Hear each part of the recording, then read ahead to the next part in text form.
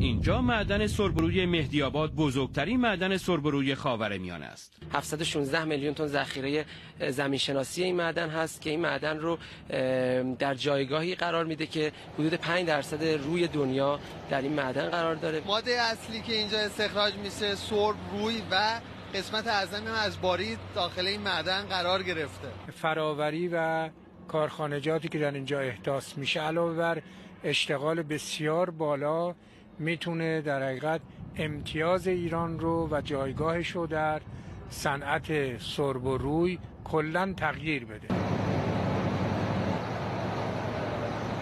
کار استخراج این مجتمع مدنی از اوایل امسال با اجرای عملیات باطل برداری آغاز شده است. 185 میلیون تن عملیات باطل برداری یکی از بزرگترین عملیاتی است که ما در این پروژه پیش رو داریم که تا این لحظه 16.5 میلیون تن باطل برداری انجام شده.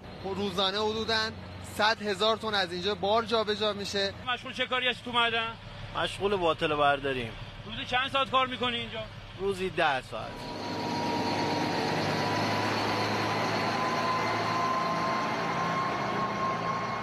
قرار طی سه مرحله این مجتمع معدنی برای رسیدن به ظرفیت نهایی در تولید کنسانتره روی تکمیل بشه. در مرحله اول ما 200 هزار تن تولید کنسانتره روی خواهیم داشت. به عنوان فاز اول در فاز دوم پس از یک سال ظرفیت به 400 هزار تن خواهد رسید و بعد از دو سال و جمعا چهار سال ما به ظرفیت کامل 800 هزار تن تولید کنسانتره روی دست خواهیم یافت. این مجتمع معدنی تا کنون زمینه اشتغال 500 نفر را فراهم کرده است. کار کردن تو معدن سخته ولی ما عادت کرد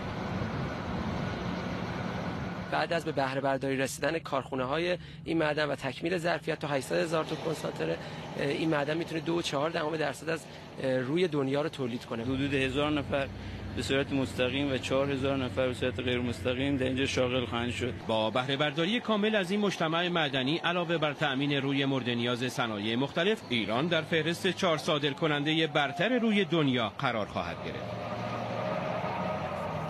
مرحله اول این مجتمع مدنی با ظرفیت 200 هزار تن کنسانتره روی اواخر سال آینده به بهره برداری خواهد رسید.